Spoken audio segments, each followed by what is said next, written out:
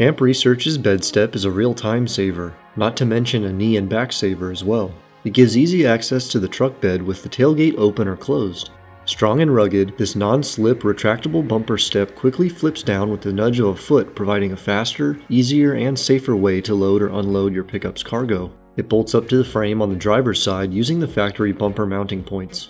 The bed step supports up to 300 pounds and is mounted to the frame under the rear bumper so it works even with an open tailgate or when towing.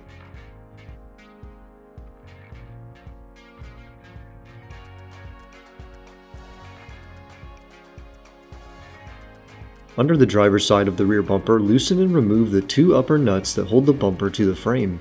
The lowest bolt and nut will remain untouched.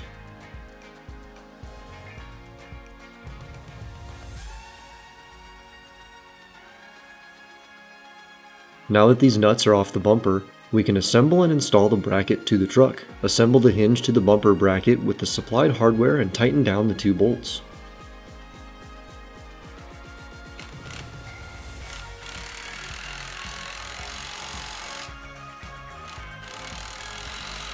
The bracket and hinge assembly can then attach to the two bolts of the bumper. Reuse the factory nuts to then secure the bracket and bumper back to the frame.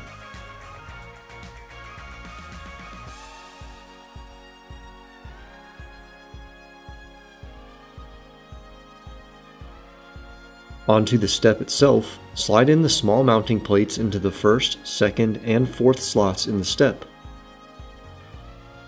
Then place the step in the hinge bracket and screw in the three bolts in the spots that correspond with the small mounting plates to finish the installation.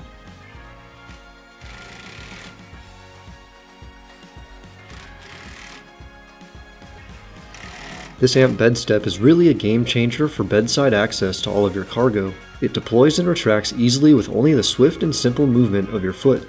It is especially useful on our overland truck build being that we get better access to set up our FSR tent.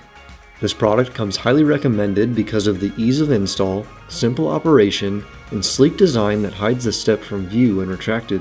Probably the most impressive aspect of the bed step is that it has never failed to open or retract fully caked in dirt or mud. This thing just works. And coming in at an affordable price point, the Amp bed step is a no-brainer. Check it out by clicking the link in the description below.